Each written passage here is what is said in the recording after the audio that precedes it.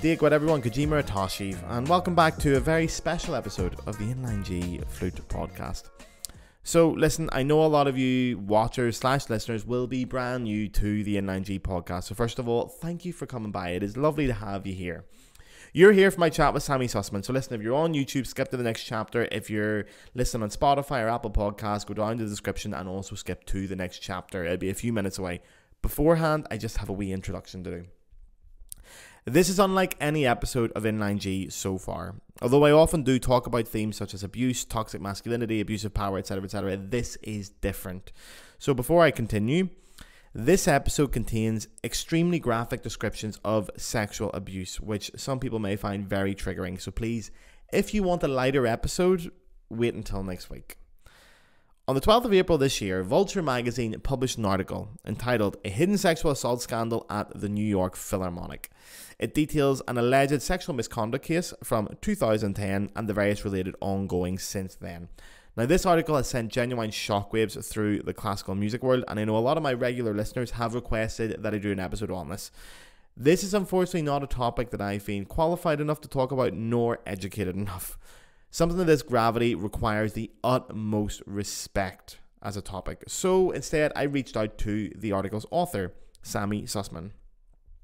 Sammy very kindly agreed to come on and chat to me, and I am genuinely beyond thrilled to have someone like him agree to come on to this podcast. It's a huge moment for me personally.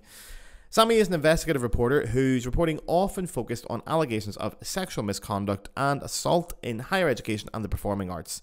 He has done reports on allegations at Juilliard, at the University of Michigan, at the University of Texas at Austin, and of course now at the New York Philharmonic Orchestra.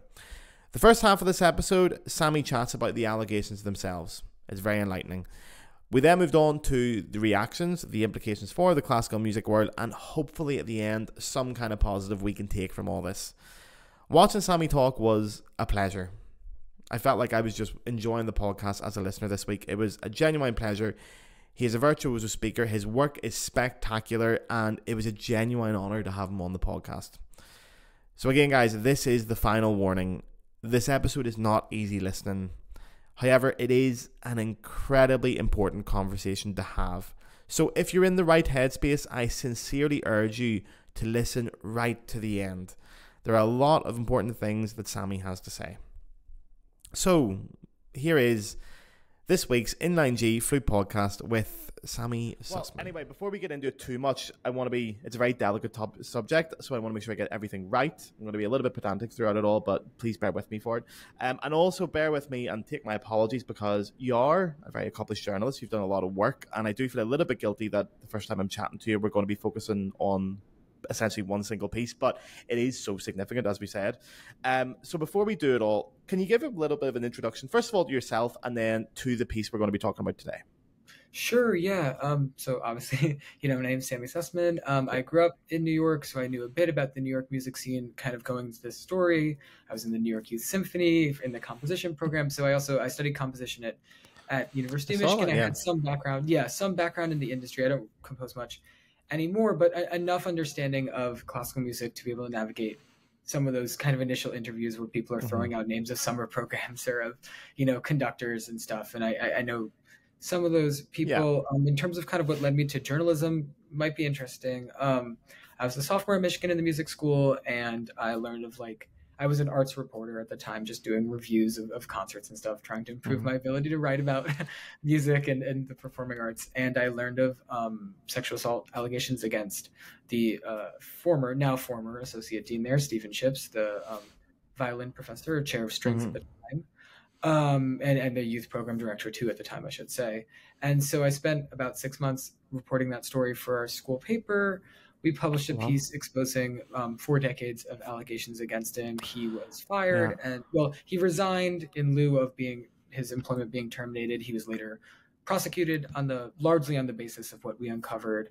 Um, he's now in prison. Okay. So that body of reporting and seeing that ability for like a random sophomore a student reporter to make that difference yeah. really inspired me to go into reporting. And then some of your listeners might be familiar. I've reported for Van a bit, so I reported about Dan Welcher over at um, UT Austin and kind of the, mm-hmm. the, history of sexual misconduct allegations against him that yeah. had gone seemingly unaddressed. And then um, this past December, I reported on sexual harassment and misconduct allegations against multiple professors in Juilliard's composition department, yeah. and that's what led me pretty directly to this story. Yeah, wow. Yeah, that is a lot going on at once. Um, yeah, again, sorry if this is going to feel pedantic and I'm going to obsess a little bit over details here, but I do want to get this really right, and it is a very sensitive topic. So, the piece you wrote recently, it was released 18 days ago, 12th of April. You've been working on it for, you said to me, about 10 months now overall. Yeah, I would say I, I got the police records back in, in mid to late June. Um, so yeah. obviously the first step with these sort of things is you file a records request, you pay the fee, you get the records yeah. back, and then try to build reporting on top of that. So yeah. Yep, and these are referring to allegations that were made. This all started way back in 2010, June 24th, yeah. 2010, as far as I'm aware, is where the allegations were made. So it has been a long time. It's been, a, I think it's been a topic that has been discussed quite a lot in the classical music world over the years. We've all seen a couple of different things about it, especially in 2018 as well and now suddenly it's came back in the last 18 days with you. Um, so on that, do you think we could perhaps try to build, just for the listeners who are maybe a bit more unaware of it, a general kind of timeline of what was reported? So maybe you could start with um, Cara's allegations and also the law enforcement responses at the time. Yeah, sure. And, and we'll split between law enforcement and the Philharmonic just because it can get confusing how those two intersect. You, yeah. And obviously yeah. they're happening at the same time. Yeah, perfect. So um, we should preface also by saying that um, the two people I'm going to speak about, um, so Matthew Muckey, who's an assistant or associate uh, Trump principal trumpet, mm-hmm. I forget which one, I'm sorry, in the New York Philharmonic, and yep. Liang Wang, the principal oboe, they both, cool. through their attorneys, they deny all allegations against them. And yep. they point to the fact that um, in 2020, when this case is arbitrated, um, they are reinstated to the Philharmonic. Yep. And so use that to, to, point to the alleged. Yeah, thank you for that. Yeah. Yeah, yeah, of course. So, um, so then to, to go into the allegations. So in July 2010, on July 24th, 2010, um, the New York Philharmonic is in Vail. Um, Cara Kizer, the main subject of my reporting, she's mm-hmm. the she's a French horn player in the mm-hmm. orchestra. She's hired about a year earlier. Um, mm-hmm. She's the second woman to play in that section. She's really yeah. close friends with Amanda Stewart, the, the, first woman who's a who's a trombone player. Um, and so Cara, they play this concert on the 24th. Um, that night. She goes to an apartment of a colleague. There's about 10 of them there. Um, I note in the story that someone takes a photo of her sitting next to Matthew Muckey and her hand yep. is behind him on a couch. And yeah. that photo is later passed to the police. There's some interest in that. But yeah, yeah. she finds out that night, at, towards the end of that gathering at this colleague's apartment of about 10 people, that um, her husband, who's flying into Vail, is going to be a couple hours late. He's supposed to get in around 10 or 11. He's going to get, instead get in around 1 or 2. And um, this isn't in the piece, but they also both told me he had a normal nine to five. She always worked orchestral jobs. It was not unusual, un, you know, yeah, unusual for him to for him to get yeah, in. come and join her after work late. Then yeah, yeah, yeah. Or she'll go do something. He'll meet up with her, or yeah. she'll come home and he's already asleep. They they didn't always line up in that way. So yeah, very. She decides um, world, Muckey yeah. and Wang had Muckey had rented a condo. Uh, mm-hmm. Wang was staying there sometimes. They had rented a, a vehicle together. Um, Mm-hmm. You know, she wanted to just see this condo and hang out with the two of them. She didn't really think anything of it. There's some colleagues. She'll spend an hour or two there, from what at least she says, and then she'll go home when her husband shows up around one. There's really nothing else to do in that intervening time. Um, she goes to Muckey Muckey's condo. She says that uh, none of them dispute that they all that the two men got in a hot tub that was out on the porch. Yep. Cara sat on the side. They, she says that they asked her to get in the hot tub with them. She declined. Mm-hmm. Um, she and Wang dispute who poured a glass of wine. Wang yeah. says that the glass of wine is closer to her, but um, she says that she saw him pour her the wine. But either way, she drinks a glass of red wine and remembers mm-hmm. nothing from the rest of the night. The next morning, she wakes up. She's lying in bed next to Muckey. She um, doesn't have any clothes on, and she um, she gathers the clothing from around the property. She notes that some of her clothing has been cleaned and there are red stains around the bed that she later learns is her vomit. Um, she asks mm-hmm. Muckey what's happened to her as he drives her back to her hotel, and he, she says that he won't look her in the eye or tell her what's happened from the police station. She decides, sorry, I should say, she speaks to her husband, she speaks to her colleague, she goes to this rehearsal, she sees Wang, and she's shocked, and a couple different people see that. So the orchestral manager, Carl Schiebler at the time, is immediately notified. He tells a doctor who calls the police, mm-hmm. and the law enforcement process starts. So from there, a couple key things in the law enforcement process is that um, Cara, uh, a SANE exam, sexual assault nurses exam, is conducted yep. on Cara and on Muckey, um, who's the alleged, obviously, assailant in this case. Mm-hmm. Um, the SANE exam, Cara says that when she gets back to her hotel the, the morning, um, you know, after she wakes up and after Muckey drives her back to the hotel, she says that she finds a tampon um, lodged far enough inside of her that she has trouble removing it. Yeah. That's later collected by the police and tested, and Muckey's genetic material is found on it. That's the only male mm-hmm. genetic material that's found on that. So that's taken, also, um, you know, tested against the genetic material conducted in that SANE exam. And, yeah. There's tested for 10 drugs, but um, pretty significantly not GHB, which at that time was involved in like 5 to 15% of um, date rape. Okay. It's according to the academic literature at the time. Yep. Of course, that yep. changes all the time. But um, expensive test to do. GHB leaves the system in terms of blood, urine, and other bodily fluids incredibly mm-hmm. quickly. Mm-hmm. She's not tested within 24 hours. It's not run in a common SANE exam, not tested for. What she does do is she places a controlled call from the police station. So mm-hmm. she calls Matthew Muckey. She says, I, I, forget if she says her phone died or she can't find a phone, but she has some reason yeah. that she says for why she's calling him from a rail random uh, Vail number. Yep the detective is sitting right next to her, writing things down and whispering things to try to prompt her to get evidence from him. Mm. That's taped. I end up obtaining a recording of that call. Uh, okay. Uh, where Muckey wow. denies that anything happened, and he, he's very contradictory in a way that she feels indicates guilt. Um, okay. He wouldn't speak about that through his attorney. Okay.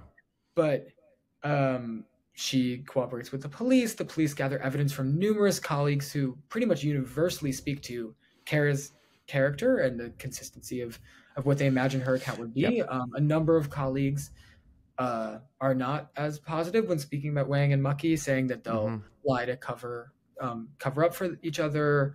Some people saying that they find Wang to be sleazy, and they note that Muckey has been seen with different girlfriends or women on, yep. on different tours. One yep. specific colleague recalls an incident in which they heard the two men on a tour earlier that year talking mm-hmm. about a female musician and how much they wanted to sleep with her. There's yeah. Um, you know, it, the, the, police report makes a, a pretty clear indication, at least of the two men's standings in the orchestra versus Cara's. Um, but yeah, we all fly back to New York. Nothing is done about that case. Mm-hmm. Now, a month later, after they fly back to New York, Cara calls the police, according to the file, and says uh, that she was at a party and her husband was with her. And mm-hmm. the two of them had two colleagues approach them to say to tell them about another allegation of uh, sexual misconduct against Matthew Muckey from another mm-hmm. former musician. Mm-hmm. Um, mm-hmm. It's unclear from the police file. This woman would not speak to the police. We don't know the disposition of that incident. Okay. Um, obviously, both men deny it, or at least Muckey denies that incident. Um, it's important to note too that that incident comes up later in 2018 when the orchestra looks into yeah. men, both men more fully. But Cara learns of another allegation. Um, a year later, just to go through the law enforcement process. Sorry, to the end. Please don't. No, please do. Yeah, yeah. A year later, um, Cara pays for a, a private uh, hair exam, hair follicle exam. Mm-hmm. They test, they find a spike in GHB, and they can date it because of the rate at which hair grows to around the time of when Cara was in Vail. It's only to about the nearest month or two, so it's yeah. not at all indicative. She's told that that can't really be used in the criminal process, and yeah. hair follicle testing at the time is new. Now we even understand it more, and there'd be different questions in terms of the, the legal case. But at the time, it was just mm-hmm. very new mm-hmm. technology, not okay. that specific. But she says. Okay she would not otherwise be exposed to GHB. she doesn't take GHB. She sees a yeah. huge spike in that according to the hair follicle test, and she thinks that's indicative that that's what she was drugged with. Because okay. she also can't otherwise understand why she has no memories of that incident. Um, yeah. She keeps in touch with the detective. She calls him periodically when she hears about new things happening at the Philharmonic, even after she's left. Whatever's happening, at least according to the file. And then in 2015, she flies. She's in Vail. Mm-hmm. She sits down in the police station with the deputy district attorney who should have been in charge of the case and the detective. And she says that the deputy district attorney wouldn't meet her. In the, he wouldn't look her in the eye. She said he was fiddling with a paperclip. He sits there. He tells her there's not enough evidence. They're not going to move forward with the case.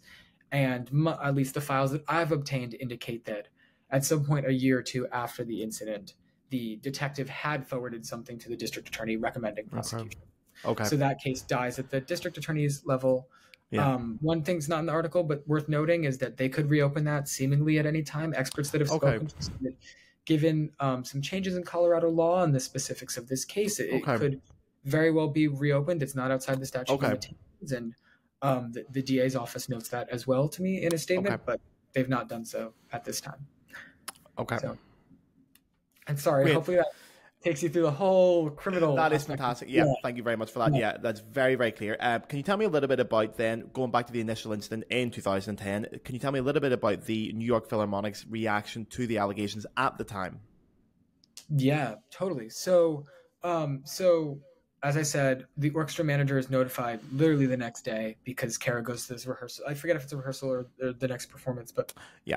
People see that she's shocked. They immediately tell the orchestra manager, who, according to multiple people in the orchestra, if this happened now, they would probably go to the orchestra mem- uh, like manager to report Yeah. it. Right? He's the personnel manager. He's the person you should report these incidents to. So Yep. Cara immediately tells him. He calls a doctor who calls the police. She assumes the orchestra has been notified and that they're gonna address it. Um, Cara, obviously, according to multiple sources, was offered an alleged NDA. We don't know if she signed that, but she couldn't speak Yeah. to me.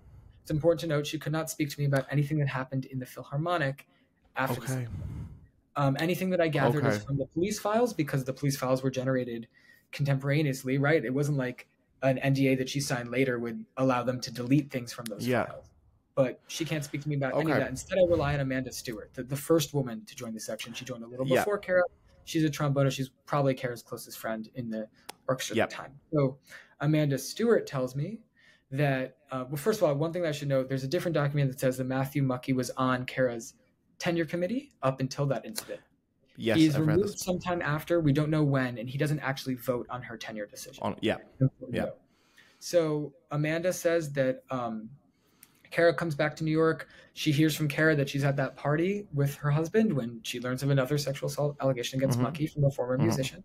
Mhm. Um, Amanda said, you know, Cara's rightfully quite horrified to learn that two of her colleagues knew of this uh, allegation and did nothing to protect her up until that incident. Um, Amanda's also horrified. The orchestra's um, on tour in Europe later that fall, and Cara's gotten a restraining order or an order of protection that prevents Muckey from getting Yeah. uh, close to her. close to or- Yeah, yeah, yeah, and and that uh, order is modified slightly to allow for performances yeah, because there's questions about proximity, right? A, Well, of hundred course, foot yeah. order, whatever that is, is not going to allow a horn symphony player. orchestra. Yeah, Yeah, and especially if Of they're course, in the same yeah. both brass, that just doesn't make sense. So it's modified slightly in that way. Yeah. Um, the order's done in Colorado, but there are questions about it in New York. Um, Okay. To speak to kind of the records about it. But so Amanda says they're in Europe in the fall, and she takes a photo of Muckey getting incredibly close to Cara, seemingly in violation of that order. And she Mhm. says that you know the, the the photo would have shown that at least from her point of view that was intentional. Yep. Um, after that, a colleague pulls her aside and says that she shouldn't keep supporting Cara. It's going to harm her tenure. And she says that before that, she had maybe one or two tenure committee members who had been consistently re- recommending that she not get tenure, and the rest of the ten person, nine or ten person committee had been Mhm. recommending that she get tenure. Um, Amanda says coming out of that, there was an emergency meeting right around Thanksgiving back in New York where they say you're not playing at a standard that we expect, um, and you won't Mhm. be granted tenure unless something improves. And by the end of that year, Amanda is not given tenure. yeah, Um, and she says that another member told her, uh, voiced to her that he was shocked that a non tenured member would dare bring up any allegation against a tenured member. yeah, And of course, that ref- referring to, to Cara bringing an allegation. Yeah, against Muckey. Yeah. And that allegation specifically being of allegedly, seemingly criminal date rape, uh, substance assisted sexual assault in yeah. an orchestra setting, but nothing to do with the orchestra. I, I think it also bears noting, or the tenure process. Um, Yeah. Actually, sorry, do you mind if I interrupt you just briefly? Yeah. Can you explain, just because a lot of the listeners to this podcast are European or British and we don't really have Yeah. the tenure system here, can you explain Oh, briefly sure. what tenure is?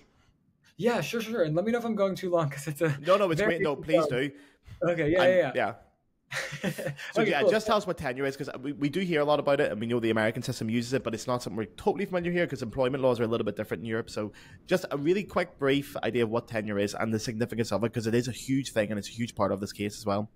Yeah, and a lot of the questions have come around that too. So so definitely Yeah. worth noting. So um the tenure process, at least as it works in the New York Philharmonic, I can't speak to every orchestra, they differ slightly. They're taken from like this idea of tenure in academia. So a year you join the orchestra, um, if you're no longer subbing, you're given a position, you win a, you know, you win an audition. You have like a one or two year path usually, at least in the New York Philharmonic. Um, over that one or two year, two year path, you'll face multiple kind of unofficial votes of this committee that's put together, and Mhm. the committee is of your colleagues, usually in your section. So for Yeah. Amanda and for Cara, it's going to be brass musicians. Yeah. Um, nine or ten of them, they're going to vote once or twice. They're going to say once or twice per year, I should say. I think there's like one in the first year, a couple in the second year, where they Yeah. say um, we do think this person should stay indefinitely in the orchestra, or we don't. Um, At the end of that process, they have a final vote that's a f- more formal vote where a tally is, Mhm. is literally taken. That's given to the music director, and it's ultimately the music director's decision. So at that time, it's Alan Gilbert. He makes Okay. a decision, but he almost always makes the decision based on the committee. So it's really, okay. yeah, he's yeah, I was just about to ask. They never. It, it, it is technically possible for the music director to override the decision of the committee, but it is rare. Then.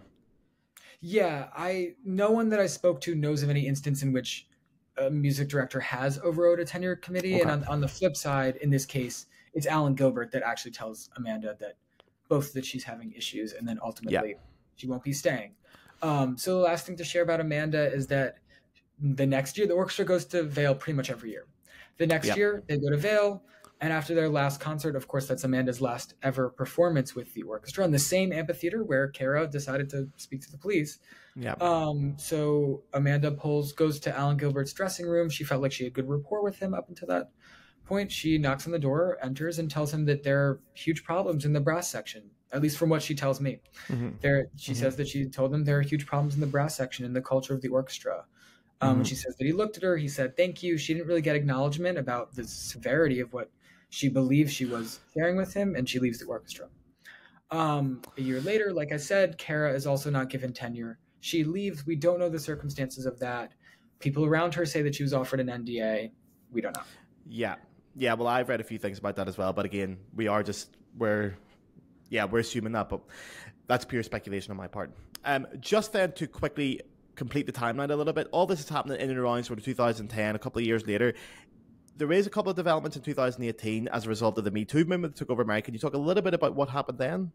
Yeah, sure. Um, so 2018, well, really October 2017, there's the reporting about Harvey Weinstein. Yeah. Within a couple months, the New York Philharmonic commissions this outside. We don't know why they did that. To be clear, we don't know that it's tied to Yeah. the Me Too movement. Maybe it's a Yes. coincidence. All we know is that by December of 2018, they had commissioned Barbara Jones. She's a former federal judge in New York, really Mhm. an expert on these sort of things. She comes in. They spend over three hundred thousand dollars um, Yeah. on her investigation. She spent six months, according to some documents that I obtained. She interviewed twenty-two people. She reviews extensive document documentary evidence, Mhm. um, and she finds there's enough evidence for the New York Philharmonic to rightfully terminate the employment of Matthew Muckey and Liang Wang. Yeah. Um, Due to the at allegations of what happened in 2010, just to be clear. Yeah. in Cara's allegation and another allegation against Muckey, as described, and we Okay. say we don't go into more specifics in the article, and I, I, I won't. I'm not quite ready to do that here, but um, we Yeah. do write mul- uh, allegations, so not one, Okay. but multiple Okay, allegations, plural. separate allegations of sexual misconduct against Liang Wang. So we Okay. know that he's present for Cara's allegation. She alleges that he poured her the glass of wine. We don't otherwise Yes. know his involvement, but we know that besides being present for that, there are at least two allegations Okay. against him. Okay. That makes sense. Yeah, I, I don't want to say more than just multiple, but No, yes. no, of course, yeah. Um, yeah. yeah. So orchestra looks into those. They fire them. The two men go to local 802 of the American Federation of Musicians, Mhm. um, which is the you know New York City Musicians Union, biggest musicians local unit of that organization in the United States.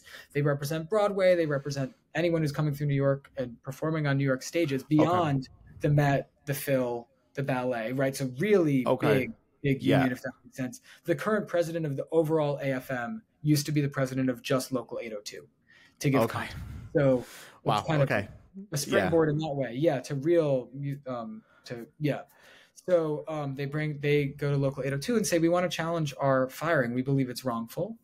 Um uh, from sources inside say that the union deliberated. It allowed the um, we don't know if this is common or not, but the union says that the two men can pay for their legal fees. A union Mhm. lawyer is just going to sit in. The union and the Philharmonic agree on this arbitrator, and the case goes to private arbitration. So it's not like court; the results are never going to be made public. The testimony is Yeah. not made public. Cara alleges that she was um, she testified in those proceedings, and Muckey and his wife sat, you know, in the room when, when she testified. She notes that he later declined to testify, citing his Fifth Amendment rights against self-incrimination, potential self-incrimination, I should say. Mhm. Um, so she says that she feels that that speaks a lot to the veracity of, of her claim and, and of his response. Yeah. Um, and but at the end of that arbitration process, I should also note the arbitration. My favorite fact in the piece, just from a magazine Yeah. writer's perspective, the arbitration is done by a 71 year old I know what you're um, going to say. arbitrator, lawyer, and part time magician.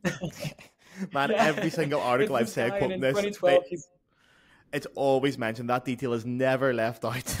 it's always well. Some people said part-time musician or magician. Some people said professional magician. So I'm not. I can't comment on his credibility, but he's definitely a magician in some sense.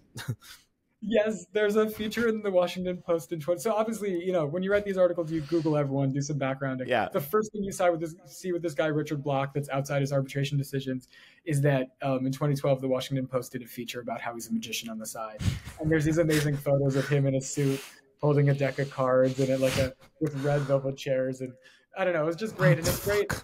You know, also stories like this get fact checked. Um, so it's so funny to my fact checkers like, where did this come from? And to pass Yeah. that article along and go back. yeah, I'm very glad. I'm very glad that that made the final cut as well. I'm glad you decided to keep that fact in because it, it gave me some it gave me a much needed respite in the middle of that article to go magician. Am I reading that right? it was fucking great. So thank you for that. Yeah, no, that's awesome. Yeah, I needed so, that, Um, man.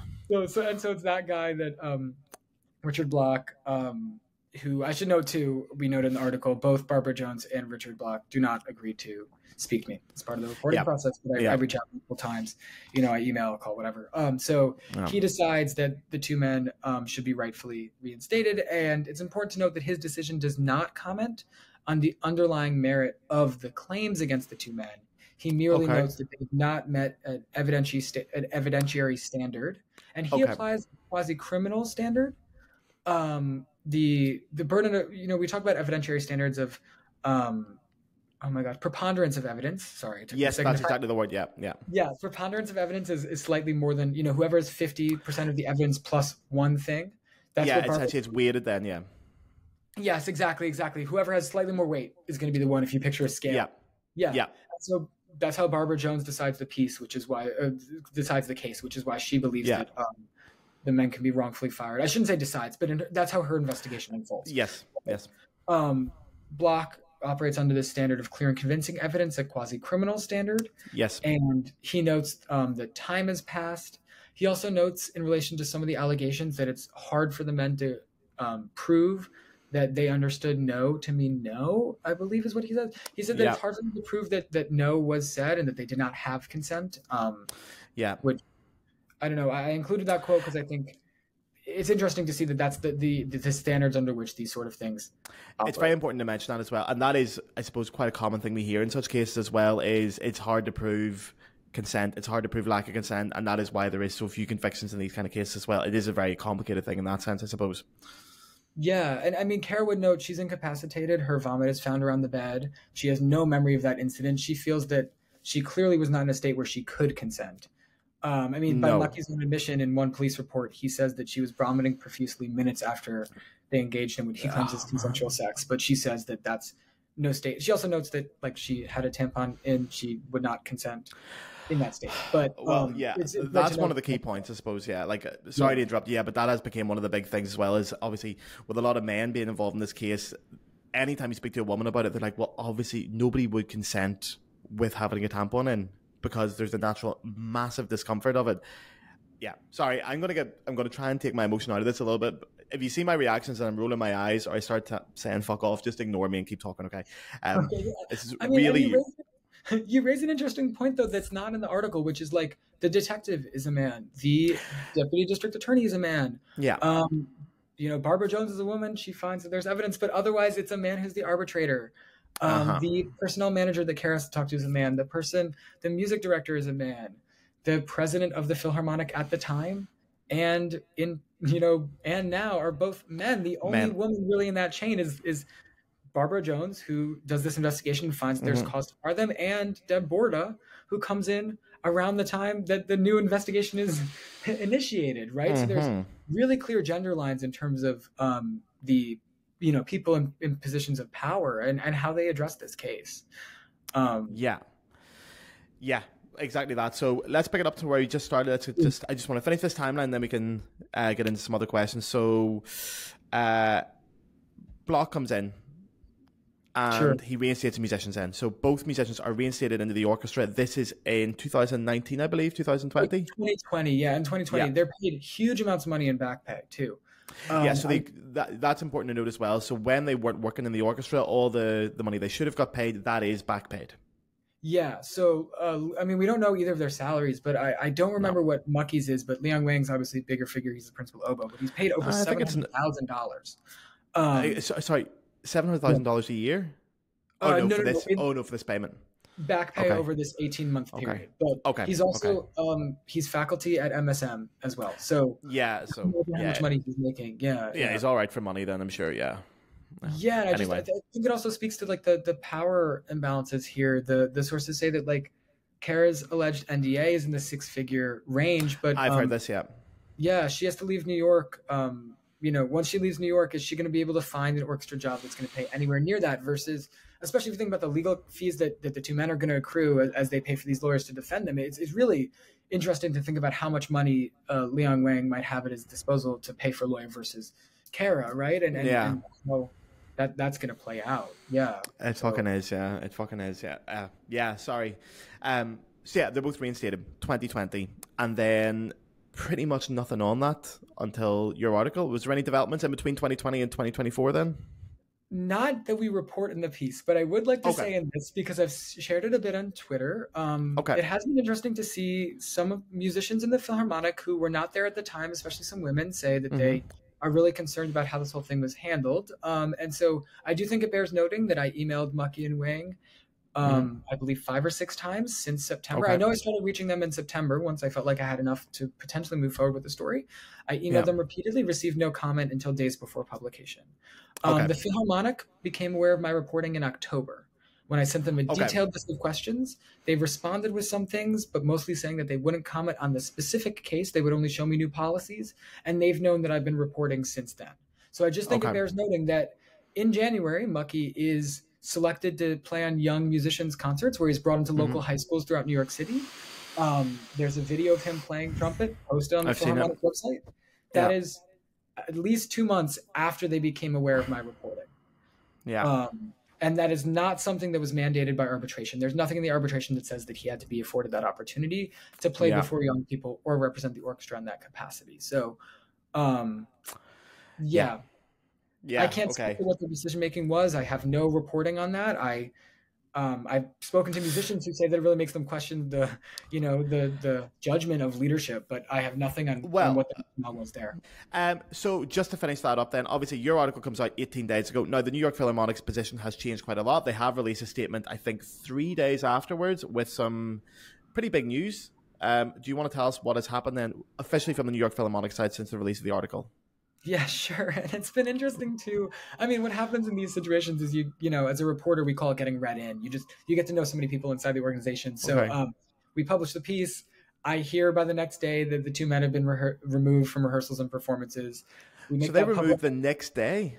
We well, they didn't play on the next the concert that night. The next night, I know wow. that. For, okay. Um, musicians are already telling each other that they've been removed indefinitely. I make that public. Wow. By Monday or Tuesday, that statement goes out that you're referencing. Yeah. Um, Yeah. Since then, the Philharmonic has said they're going to commission an outside investigation, and it's Yes. really important to note that that investigation is going to be much more broad than the 2018 one. Mhm. They haven't said if they're reinvestigating these two men. We don't know if they can. That arbitration was binding, right? They fired them for the Okay. cause based on Paris case. An arbitrator came back and said you can't do that. We don't know if they can reinitiate in that way, but they've Yeah. commissioned a large investigation to look at seemingly large because it's going to investigate the recent culture Yeah. of the Yeah, well, that's the words they used. They said they've launched an independent investigation into the culture of the New York Philharmonic in recent years. They also don't specify what recent covers either. Yes, which is a very good thing to note. Yeah, and um, outside the Philharmonic too, in terms of immediate response, uh, Liang Wang has put on leave from MSM, And Okay. MSM announces that they have a separate investigation. They've commissioned someone else Wow. to look Okay. at allegations against him. They don't really clarify if they know of allegations specific to his time at MSM or if they're looking at what I reported to make a decision about his employment there. Very unclear. Mhm. But they've commissioned this investigation. They're also looking into it. And presumably, they haven't said if they're going to make the results public, I believe. Whereas I know that the The Philharmonic. New York Philharmonic intend to, yeah. Yes. Yeah.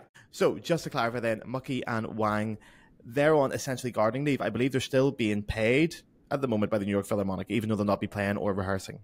From what we know, yes. Yeah. Um, it is important to know though that the Philharmonic contracts from some musicians that I've spoken to are um, binding, so they do have implications in terms of either men's ability to play elsewhere. So it is Okay. kind of interesting that like while this process plays out, we don't think that they'll be able to perform with other orchestras or take Oh wow. other Okay. like, masterclass engagements in that way.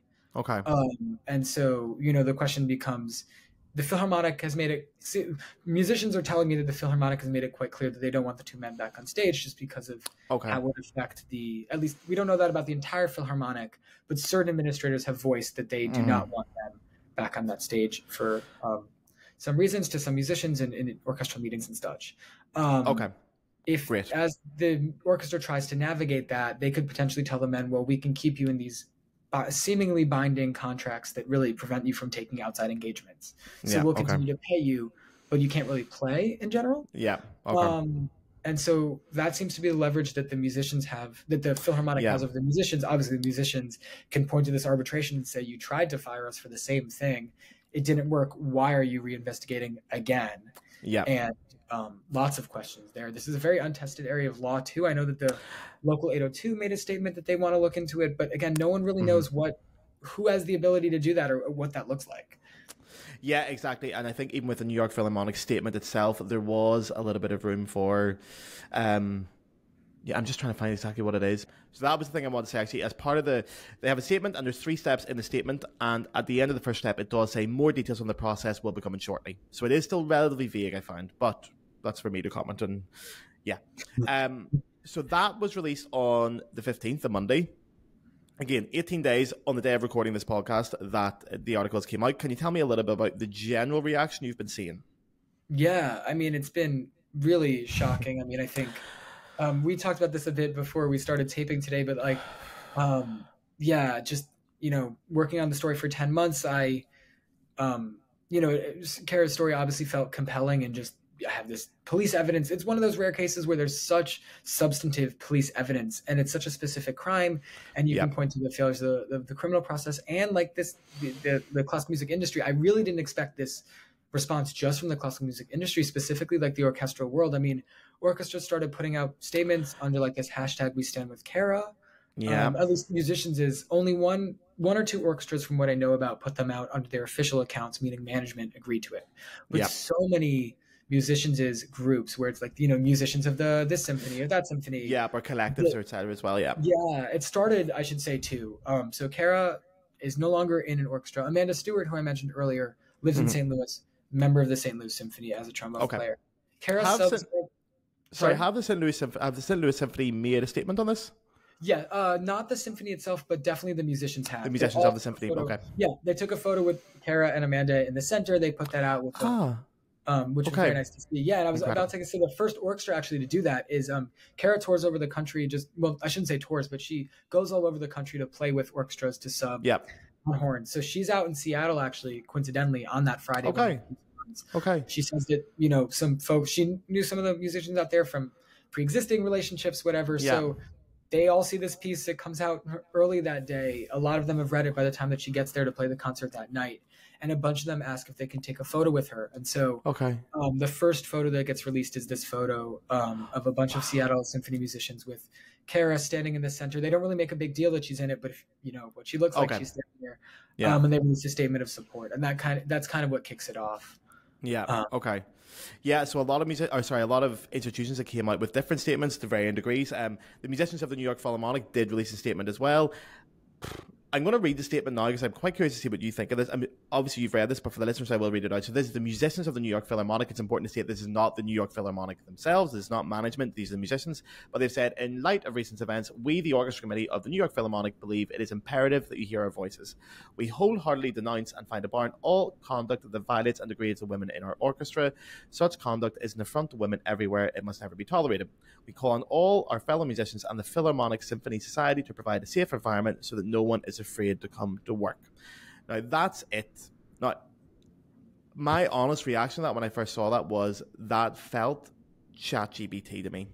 That felt like it was ChatGPT write me up a statement to make on this. What is your reaction, or what? Well, I suppose you can't give me your exact reaction to that, but can you tell me a little bit about the different kind of ones you're seeing here? Yeah, I mean, I think there's a lot of questions, right? Because I think first off, who are the musicians that drafted this statement? Do they really speak for the entire body? Obviously, yeah. Beyond Muckey and Wang, I mean, it's important to note that like there are a couple musicians in the brass section that are named Alan Baer, Ethan Baer, yeah. were two specific musicians who are named in the piece. Yep. Ethan, uh, Ethan and Al, as um, a lot of people in this piece refer to him.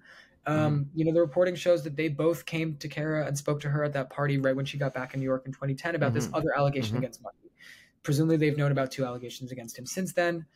Um, there are questions about uh, other members of the brass section and you know posts they've made on social media Mm-hmm. with the two men, especially in the time between when some folks became aware of my reporting and when it Mhm. published. Um, I mean, I think without more transparency, we don't know how many musicians this represent. We don't know is this a plurality of the orchestra? Is it the entire body? Like, have those folks changed their mind about how they feel, or is this a subgroup Yeah. of musicians trying to speak as the collective? Um, I mean, I also think it, it's hard. It's hard for Cara, I, I believe, at least you know, speaking her with her since then, because she did not feel that support while she was there. She has not felt that support Okay. over the past decade. So, um, 14 years, I guess, not even more than a decade. So I think it's Yeah. it's kind of shocking to see that there now. I mean, I do know just from some conversations with some folks, they did not know the severity or extent of Cara's allegation, and so there's that Okay. reaction. Um, what they might have been told by by some folks, primarily in the brass section, but just as, as the rumors spread within the orchestra, Mhm. they were told of a an allegation that merely involved drinking or something that was, um, Yeah, you know, there okay. wasn't as there wasn't this body of, of, like I've said, evidence collected by the police that really Yeah. speaks to a very serious incident in which Cara clearly alleges that she was in no state to consent. And so some folks say that it's that realization that's led them to rethink their position. But Okay. I think it remains to be seen what what that actually represents about the orchestra. I should also say I know, um, speaking to multiple folks, that um, Gustavo Dudamel obviously is coming in As the new director, yeah. as the new music director. He happened to sub this past week on a concert unexpectedly due to some Yes, I saw that. Yeah. Yep, yeah. So, um, first en- his first engagement with the orchestra before that performance that night, um, from multiple musicians in the room, I've heard that he spoke about this and said that um, the culture can change and that it must change. So, interesting to hear him make that statement. Interesting to see where he sits on all this too. Um, yeah, Yeah, so I did see that statement as well. Yeah. Um, I think one of the things I'm seeing is by statements as well is there is a lot of pressure from people on social media to push all the institutes to make statements. Is that something you kind of expected when this article was written, or is that something you anticipated coming out that people would be pushing the likes of the Curtis Institute of Music, different schools, different orchestras to really push them? Not at all. And I should say, I mean, this piece is so narrow in its focus, right? It doesn't even deal, it deals with a, a personnel manager, uh, executive director, CEO, and president of the Philharmonic, and a music director, none of which are still there. So to me, it was also crazy Yeah. because I'm reporting about like previous people in this institution. I'm, you know, it's the oldest orchestra in America. Presumably, it represents larger problems, but it's so narrow in its focus. It also looks at one of what we know are two allegations against Muckey and multiple against Liang Wang, right? It it, it looks Mhm. at just one of those. It, it's so narrow in its focus, and I had no idea that it would have that sort of weight. I mean, I think it's great. One thing that I have been asked about these statements that orchestras are posting, and I mean, Mhm. investigative reporters, we always look for standards to hold people against, right? We Okay. what is investigative reporting when you think about it it's um, at least i would argue it's uncovering information that's not in the public domain and holding that against Mhm. What should be a, a standard of, of, you know moral standard legal legal standards are easier obviously or yeah. company standards whatever. Um, but standards of conduct to which we hold try to hold people to by exposing something. And so all these orchestras making statements i hope that if anything happens in that orchestra musicians can point to that statement and said but you said this about about Cara. I i, I do wonder like um, for Cincinnati Symphony, the orchestra that this statement went through management, I realize if they, I wonder if they realize what a commitment that is in terms of what they've now said they're going to do in terms of their culture. Yeah. Well, on the different reactions then we're getting towards this, um, do you think there's anything, I hesitate to say this, but is there anything missing or is there anything, is there any questions we're not bringing up or that maybe should be looked at as part of the reactions we're getting to this? Yeah, that, that's or questions, maybe, or topics to talk. Maybe this could spark new debates. Yeah, I mean, a couple just things like I can just tell you some things that um, that didn't make the orchestra is like um, Matthew Muckey. Um, that didn't make the orchestra. Sorry, that didn't make the article. um, yeah, yeah. Matthew Muckey taught at Rutgers. Um, Al Baer was the Alan Baer was the chair of Rutgers, the the brass department at the time. I, I have some questions about that. I, you know, not something that was in the article, but definitely something that bears more examination. Sorry, can you just clarify exactly what that is? Uh, Rutgers, just for especially oh, for Rutgers the European University. audience. I'm so sorry. Yeah. yeah, yeah, Rutgers University. It's in New Jersey here, um, yeah. but drivable from New York City. So some yeah. folks from the Philharmonic are, are on the faculty there. Um, yeah, and, and a fairly prestigious university, to say the least. Yeah, and Mason Gross School of the Arts. Uh, you know, a, a yeah. good music program there. So yeah. Yeah. Um, I should say also, I mean, Al Baer, obviously, Al Baer is also on faculty at Juilliard. Um, I think there's also questions about like Erik Ralske, the um, the he's a former horn player in the French horn player in the Philharmonic that's now in the Met Orchestra. He leaves in 2010, okay. so he's the person that's most willing to be quoted in my piece because he says he ran into Cara in Vail like days after what happened to her. He was friendly with her. They talked about it a bit. Okay. He hasn't kept in touch with her since then, but he remembers how shocked she was. And he left that orchestra because he hated the culture. and he's very okay. explicit about that in the piece, saying that he's never, he's played with seven professional orchestras um, mm-hmm. you know, uh, lengthy engagements with seven, at least seven, and has never seen a culture that's as toxic as what he experienced there. So I think big questions about the culture there that need to be addressed that extend far beyond this piece. Um, and yeah. then lastly, just the NDA with with Cara and the fact that there's another woman who could speak about Muckey. She has not come forward. There are presumably other women that could speak about Liang, just given that there were multiple allegations against him. None of those people have come forward, and we don't know if they can legally. We we know that yeah. multiple people believe Cara couldn't. I mean, Cara couldn't answer my questions. Let's say that first off. Yeah. Um, there are multiple people that said that there were talks of a six-figure settlement that um, involved some sort of stipulation that she could no longer neither acknowledge that there was a settlement or mm-hmm. speak to anyone about it. Right. So what, what happened to her? So yeah, well, I think that's one of the one of the most yeah. interesting things that came from this as well. There was a group I saw called the Composers Collective. It was just essentially a group of artists and composers, and their open letter that they launched was specifically to criticize the use of NDAs in the New York Philharmonic, which, to be honest, was not something I would have considered straight away. But it is great to see that as reaction. Yeah, and and I mean, um, also interesting. Alleged that, use. Sorry. Yes, yes, yes, and no worries. Um, and that that um, group that you're speaking about are women that I spoke to for the Juilliard article. That's what brought them ah, together. Okay. It was also kind of a full circle moment. I mean, I've, I've spoken wow. to them about that, but it is also crazy that like their article about Juilliard and seeing the immediate personnel change. Well, I guess it took six months, but pretty quick personnel change at Juilliard and this outside investigation, you know, mm. substantiating what they told me in this article. Um, that's really what led Cara to to be comfortable with her story being told in this way. So I think oh, also wow, okay. there's kind of that immediate connection that's now playing out in real time as you see this collective advocate on her behalf in a way that that's incredible might not be able to if she does want to be released from that NDA or you know all that's playing yeah. out in real time. Yeah, that is amazing. That's a really incredible full circle moment as well. Then for you, wow. Yeah. Um, one of the other reactions actually I saw on it, I don't know if you're familiar with this. There's got there's a woman called Anne Midgette who is um writer and critic, does a lot of performing arts stuff. She wrote a superb open letter today, um, and I had one quote of it I wanted to bring out as well, where she called an open letter to the classical music field. And one point that she says to call out the bullshit on the sanctimony of institutions who stand. Um, yeah, and also, yeah, the main point she wanted to bring is institutions who claim to stand with Cara, but continue continue to invite known abusers to perform and teach. And this is a really important thing because I've seen people like Katherine Needleman and St. John talk about this as well. Is what we can do to make sure we don't bring these people back, known yeah. abusers. That's a conversation that's being up about this as well. Yeah, I mean, and that's why I say that I think my view.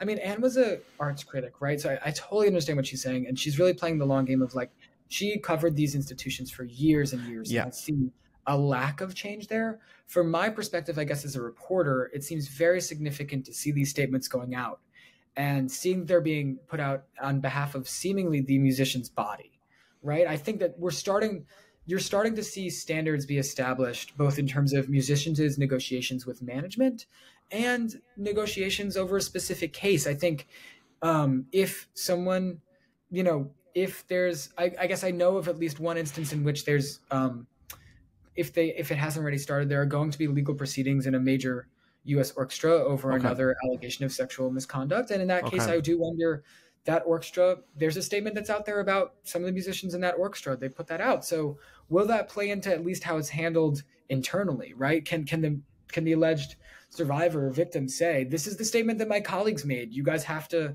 take some effort to support me. What you're doing isn't enough." Can the mm-hmm. alleged assailant say, "Well, this, you know, this is a culture that is intolerant of that. So can you please clarify what my rights are?" I hope that this leads to at least at bare minimum a clear delineation of how mm-hmm. these things are handled. Also, how far back do orchestras look? Like like Anna's saying, what if you yeah. have a case where there's someone who did something, I don't know, 15 years ago, allegedly yeah. did something 15 years ago, but has done nothing since then. How do we, as a culture, look at that? I think there needs to be much clearer delineation of what standards are, what processes are. And that's where I think there's positive in this, even though, like Anne Anna's saying, there's a lot of, of maybe um, a lot of people trying to put out statements to get behind a culture that maybe they, yeah, you know, folks like Anne would say they have not upheld to, to yeah.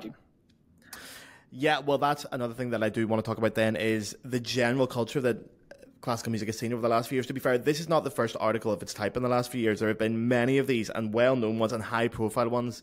Um, obviously, you can't comment on this, but the Placido Domingo one was one I remember being a particularly big one. He's out there swanning about Europe now, doing whatever the fuck he wants. But anyway, um, there does seem to be, and from my point of view, an ingrained culture of this in classical music, and it is getting uncovered more. Now, you've obviously covered this a lot in your work.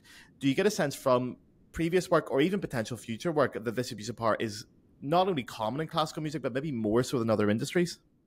Yeah, I mean, to answer that question, I'd like to draw on what Anne said again. Um, I mean, I also we should say that she broke the story about Bill Preucil, um, mm-hmm. that right, and at Cleveland Orchestra and the Cleveland Institute. I read that Music. one today. Yeah, yeah, really amazing reporting, and that was in 2018 that summer. Um, so in that immediate Me Too period, um, when we were starting mm-hmm. to see these these stories in, in other industries, and she was kind of the first reporter, at least in my view, to really report on a couple different people and tie this Me Too movement and the larger American culture back to mm-hmm. this industry. Um, you know, she speaks in, in the same the same open letter that you're talking about about how like in so many instances reporters feel like they're the last to know about these allegations, right? I mean, okay. I know that was the case at the Philharmonic. Like, uh, full disclosure, I'm 26. I graduated journalism school last year. Yeah. I was like, I was 11 when this all happened to Cara. Yeah, I true. did not know about any of this until I went onto the scene. I think it's so. many, I mean, at this place, I can, in this case, I can use my youth to kind of cover up for that. But in so many cases, yeah. like reporters are literally the last ones to know about these stories, and then once we hear about them, we're the ones that try to make them public. But I, I do think yes. it's, it's really significant to hear all these folks in the music industry say, "Oh, this orchestra, there's this rumor, and this orchestra, there's this rumor," and um, so often it's like if I could get my hands on that rumor to any degree of substance, I would try to report it. And so like, yeah. it's this weird game of like we enter these situations where we feel like we've not we didn't know about it, but everyone else assumes that we did. and then once yeah. we report it and once it's out there, then you see all these institution things flip on a dime, and there's all of a sudden um, there's public backlash, and so things need to move very quickly to respond to something that's been known to so many people for so long.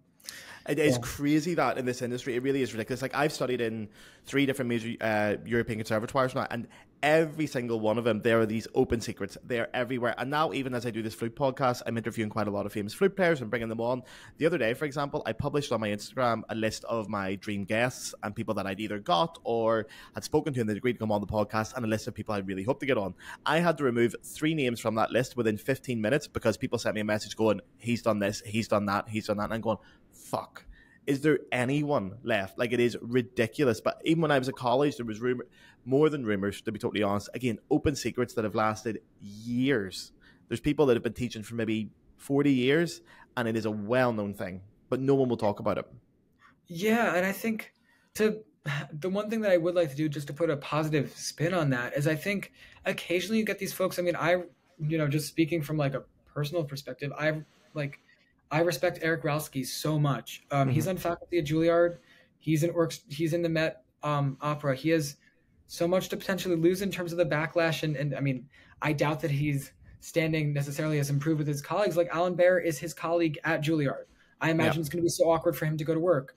I imagine there are folks at the Met that know yeah. brass players in the Philharmonic. It's going to be so awkward for him. But he was actually the first person in my entire reporting um, process over that 10 months. He was the first person to go on the record. And he just said that I explained to him what I was doing. I kind of explained that I had this police report and that I'd be really focusing in on Cara's story and, and reporting the facts as I could mm-hmm. gather them from this report. And he immediately said that he wanted to be a part of that. So on the flip side, That's I think he, uh, sometimes you have people that are really amazing and it's not like you know Erik isn't an activist i mean i've called him a bit since then he's talked about what this has kind of made him think about and how he's seeing this going forward but he's not Cara he's not going to be someone who's forever really going to be was always going to be affected by this story and would always have feelings yeah. with this story but he just says that he wanted to do the right thing right i hope that there are people more people like that too and i think do you are. think this will maybe open the floodgates a little bit for that kind of reporting I think so. Yeah. I mean, I know I've gotten stuff in my inbox. Um, yeah.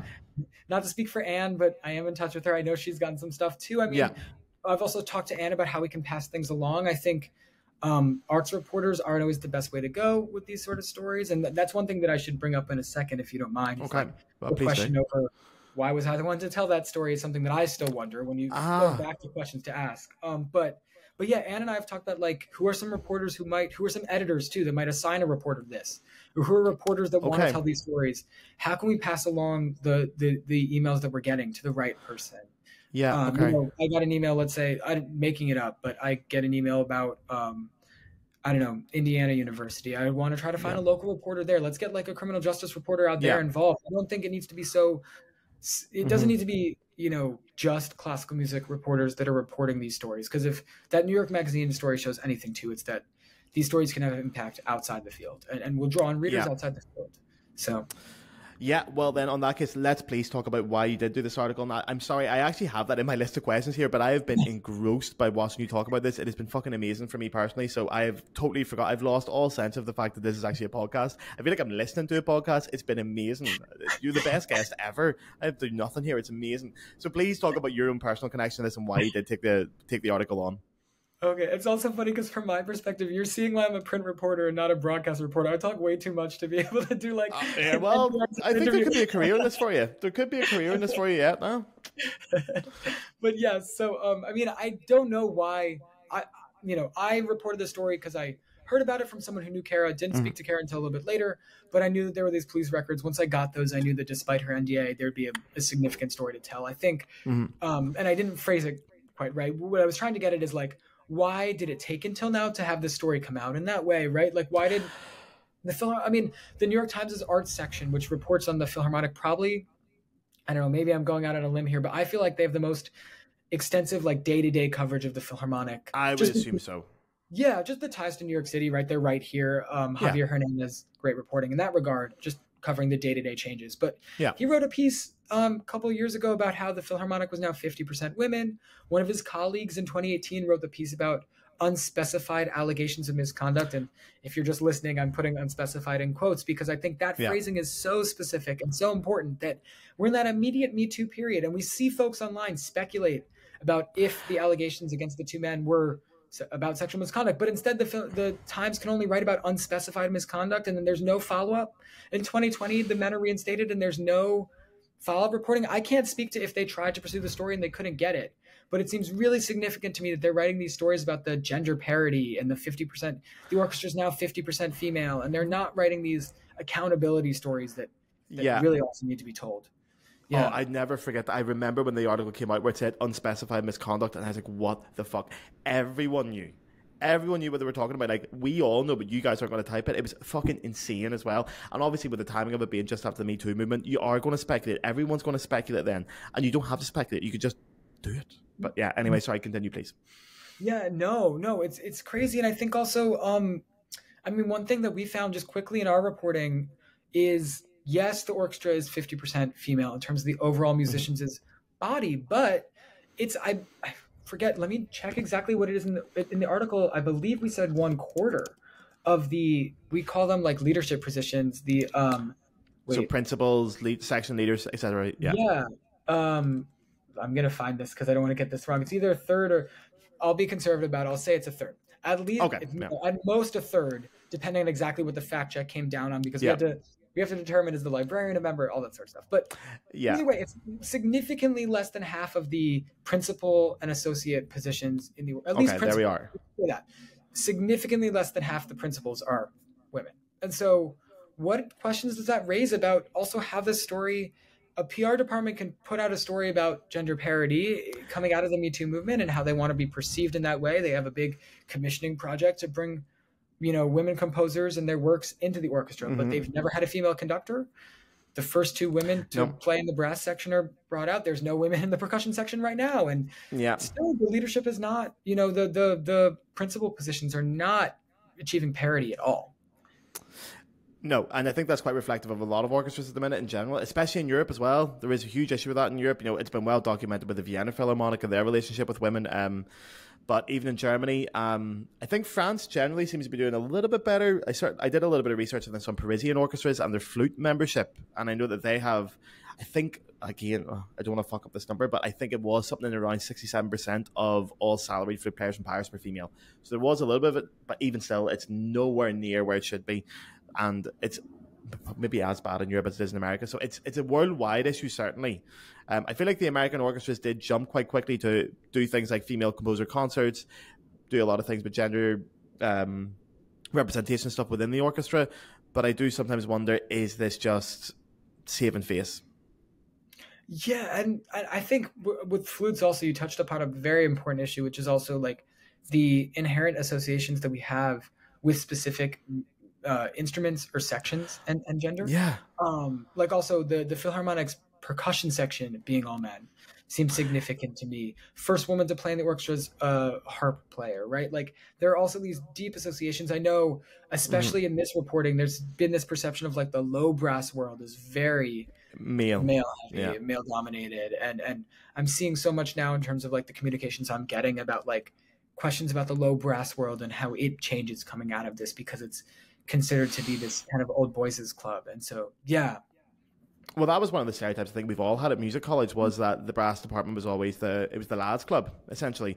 It was almost like a football team more than anything else. Although I will say, when I've studied at college, there are students the gender the gender disparity is not as big in college, and these are the places directly before the profession. So the profession should naturally reflect that. If people at college are 50-50 or more or less, the profession should reflect that. Any other industry that would be the case, but again, as you said, in classical music, certainly with brass and percussion, it doesn't seem to quite match up. And then with flute, I think it's more accepted somehow for female principal flutes, or as you said, the harp, which is ridiculous because most major orchestras, we even have to specify now when you're saying the first female to hold a job after the harp, because that seemed yeah. to be the only one that we sort of allowed in. It was always like, okay, the first female principal, excluding the harp, because we let them in a while ago, you know.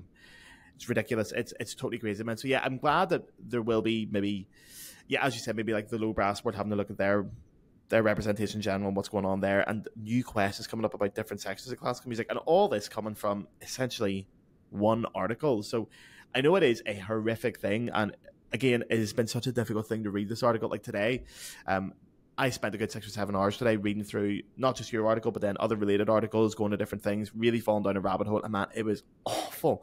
I felt like fucking shit today. It was awful. Like I, I went back to the articles that I was reading maybe 10 years ago when certain scandals in the UK and Europe and even here in Germany, it was depressing as shit. I really couldn't handle it, and you know, yeah. I, I, shouldn't say that, you know, but it is. And I suppose maybe the one positive that comes out of this, we are going to have a look at changing not just one culture, but multiple cultures within classical music, maybe classical music as a whole.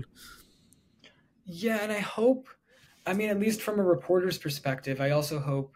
You know, I'm not an advocate. I'm not. It's far from my position to tell you tell people what should change, how those things should change. I, I really just want to put stories out into the world that I think raise these questions, both stories that should be made public and stories that raise really important, interesting questions. I think to that yeah. to, to that end, I I hope that we're starting to see people be more comfortable making their stories yeah. public. I mean, I hope, if anything, all the we stand with Cara's statements. Um, much as we can criticize orchestras for maybe not upholding those values in the past, I Mhm. hope that it does make the next Cara comfortable speaking to me or to any other reporter. Yeah.